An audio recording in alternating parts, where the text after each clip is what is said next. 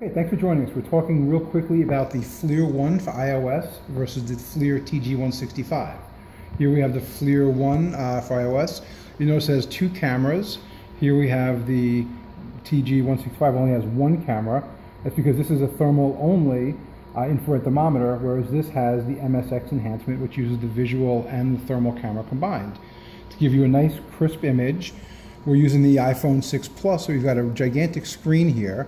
Uh, does give you only center spot measurement, which is one of the similarities between them. Uh, but you'll notice side by side, the um, screens look much, much different. Um, nice thing about the, uh, the TG165, it does have a laser pointer, so you can see the outline of what it is you're looking at. Um, it's also much more rugged, it's industrialized, it's got a much more solid feel to it. This, you have to take your um, case off your iPhone or your Android phone if you have the Android version. You have to take the cover off because this way it'll sit flush. Um, but again, really the screen size, the MSX enhancement, um, the temperature range on this is only 248 degrees, whereas this, because it's really an infrared thermometer, first and foremost with a visual overlay, can get up to 748 degrees. Uh, both have adjustable emissivity, both can store images. This can also do video and change your modes into different um, styles. This one has just um, a couple of modes.